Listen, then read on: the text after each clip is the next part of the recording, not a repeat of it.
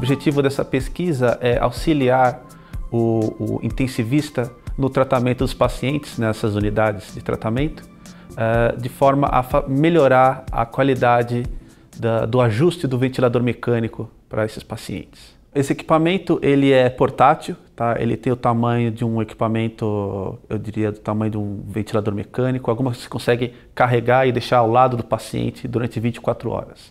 Essa é uma das vantagens da tecnologia, porque se você não usar isso, geralmente, se você precisa de uma imagem tomográfica, você precisa carregar o paciente e fazer essa manobra de transporte do paciente mais os equipamentos até a sala do tomógrafo é bastante perigosa. A tecnologia da tomografia de impedância elétrica ela é um pouco diferente dessas tomografias utilizando raio-x ou ressonância. Nós utilizamos apenas medições elétricas na superfície do tórax do paciente. Né?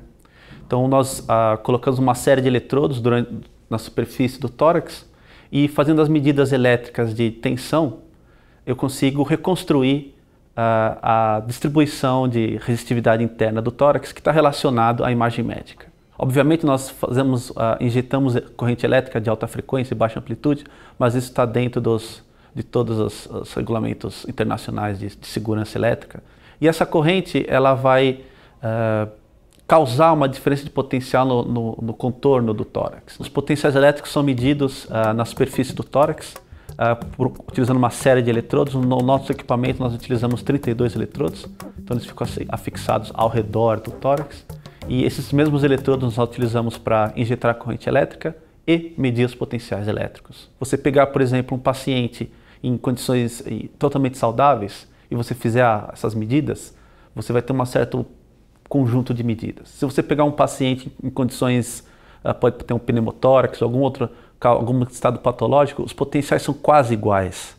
A diferença é muito pequena, é muito sutil a diferença. Depois que o sinal é coletado e está dentro do computador, tem técnicas também numéricas agora para fazer a limpeza do, desses sinais, eliminar o que não te interessa e evidenciar o sinal que interessa para a gente. De fato, esse, esse, é um projeto que envolve desde a parte da instrumentação, que é a construção dos, do equipamento que vai medir os sinais uh, de interesse para a gente. Depois tem um outro uh, bloco, que é a parte dos algoritmos de, de geração da imagem, responsável por uh, pegar esses dados coletados, esse pacote de informação e com esse conjunto de informações chegar numa imagem que eu olho e falo, esse é o tórax do paciente. Esse projeto ele começou, uh, eu acho que em torno de 15 anos atrás, talvez um pouco mais, eu diria quase 20 anos. Aqui na UFABC nós trabalhamos uh, desde a parte da instrumentação até a parte das ferramentas clínicas. Então aqui no, nós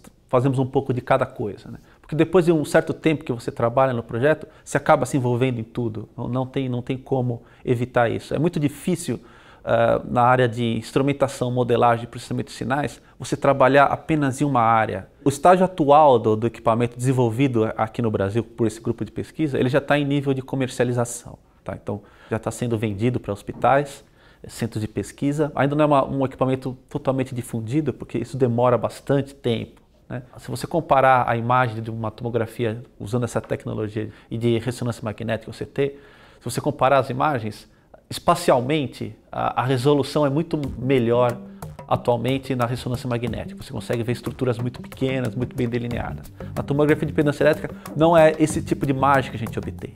Entretanto, ela tem uma resolução temporal altíssima. Você consegue ver coisas que na tomografia de raio-x ou ressonância você não vê. Então nós conseguimos ver, saber se de fato o pulmão está funcionando ou não, que parte está funcionando, que parte não está funcionando, quando ocorre algum problema, quando não ocorre, está tendo perfusão de sangue ou não, etc, etc. Então a função é diferente.